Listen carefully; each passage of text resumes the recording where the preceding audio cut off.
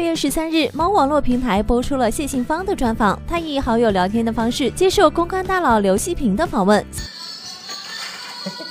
哎，不会哭或什么，好像都不会。没事。你有在骂他了？对。哎，他就他就要去试一下哈。谢杏芳除了大方秀出儿子视频之外，也谈到了林丹在二零一六年发生的那一场风波。当时林丹的偷拍照片铺天盖地，网友十分关注谢杏芳的反应，人人都认为两人离婚的机会很大。可是谢杏芳本人却做出了令人意外的选择，她原谅了丈夫，站在他的身边，跟他一起面对风雨。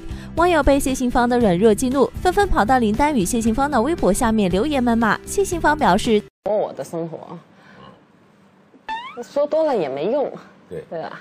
你看我们赢球，赢球也要被评论一下，然后一输，哇，那肯定就是都是说啊，你最近练的不好，或者各方面的问题啊，什么啊落马啦，啊。那个又被黑马挑落啦之类的那种，哎，对，就是从小就已经被被骂惯了。啊。啊。他是运动员，性格有坚毅的一面。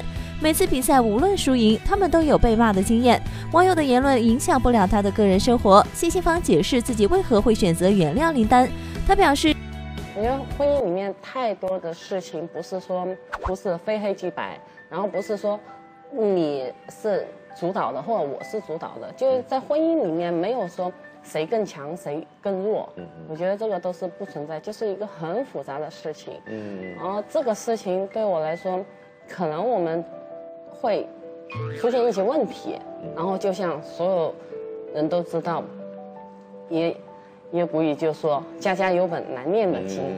我觉得每个家庭都会有问题，而且现在不是说家庭有问题，可能你的人生很多时候你都会有问题。那你有问题，那就是如果是能达成一致，可以说往我们共同去解决，我们共同去努力，去为我们。这个家里面去制造一个更好的氛围，那我觉得这个就是我们的目标，我们就会一起去去努力去完成。